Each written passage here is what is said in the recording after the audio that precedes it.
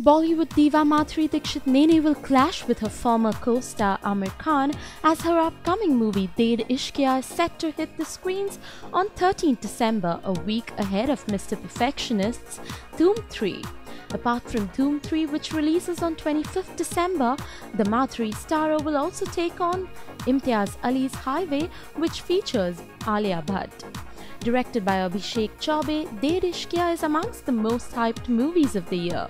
The movie has been in news ever since it went on floors as it marks the comeback of Madhuri Dixit on silver screen after a long time. Well, if you too are a fan of Madhuri, hit the like button and leave your comments below. Also, don't forget to subscribe to Bollywood Backstage for all latest updates on Bollywood movies.